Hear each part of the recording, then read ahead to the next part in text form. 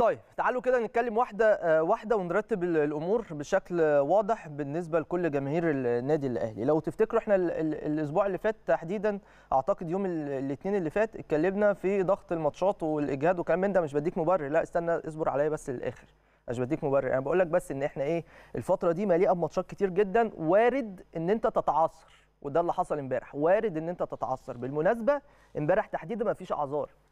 يعني امبارح الفريق ما فيش حد مجهد لأن كده كده كان في روتيشن في مباراة المقصة اللي أديناها بشكل كويس جدا.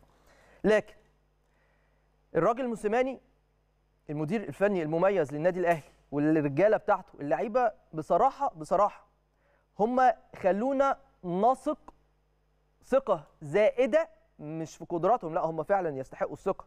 بس قصدي إيه؟ في الماتشات نفسها إن إحنا إيه كل ماتش عارفين إن إحنا هنكسب.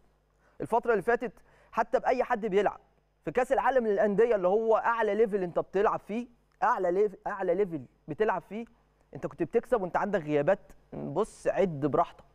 13 14 لعيب وبتكسب. وخدت ثالث خدت برونزية. فمن هنا جت الثقة. اللي خلتنا إن إحنا بنبقى قبل أي ماتش آه، نازلين إحنا هنكسب. وهي دي حاجة تحسب لهم بصراحة. لكن في نفس الوقت إحنا امبارح خدنا درس جامد قوي لازم نتعلم منه. هو إيه الدرس؟ ان الكوره ملهاش كبير. الاهلي كبير الكورة في مصر. الاهلي كبير الكورة في افريقيا. مفيش نقاش مفيش اختلاف على كده خالص. والنتائج والارقام هي اللي بتقول كده. والألقاب كمان هي اللي بتقول كده.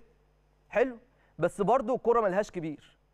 إحنا استفدنا إيه من الدرس بتاع امبارح؟ بالمناسبة بصراحة يعني وأنا بتكلم معاكم بمنتهى الواقعية.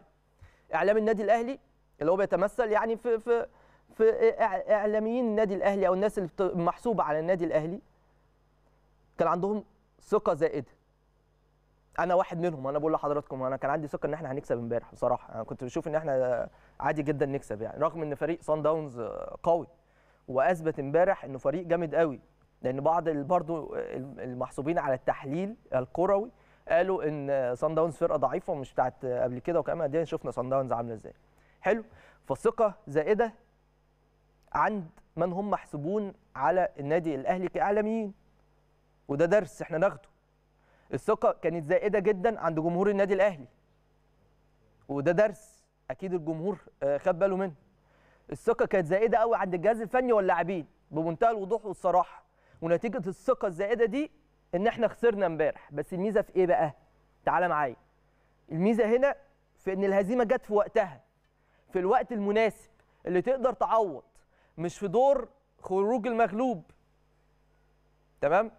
مش مثلا ما جالناش في ربع النهائي ولا نص النهائي ولا الكلام من ده ولا حتى في النهائي.